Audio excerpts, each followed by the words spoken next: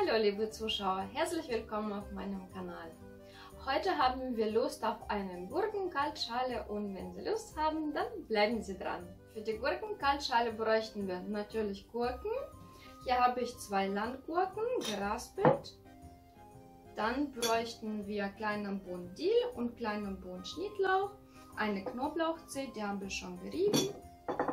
Dann bräuchten wir 50 ml Naturjoghurt, 500 ml Buttermilch, bisschen Salz und Zitronensaft zum Abschmecken und etwas Olivenöl. Ich werde jetzt Buttermilch mit Naturjoghurt verrühren.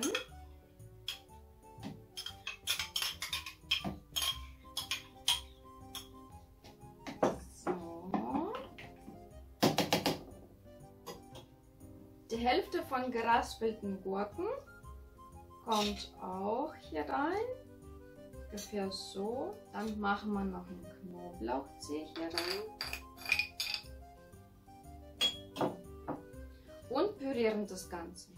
Das füllen wir jetzt in eine Schale um.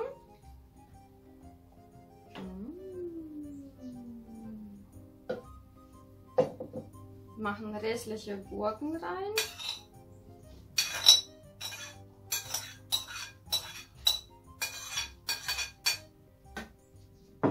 Kommen jetzt noch Schnittlauch und Dill rein.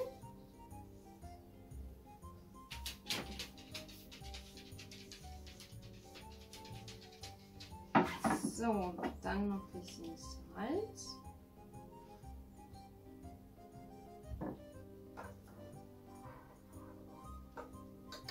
Noch ein kleiner Spritzer Zitronensaft.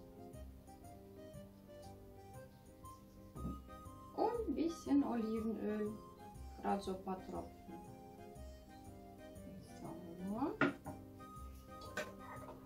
Und so sieht unsere Kaltschale aus. Komm ein bisschen näher. Mmh, perfekt für heiße Sommertage. Guten Appetit! Ich freue mich sehr, dass Sie mich heute besucht haben, wünsche Ihnen und Ihren Liebsten alles Gute, bleiben Sie gesund und bis zum nächsten Mal. Eure Irina.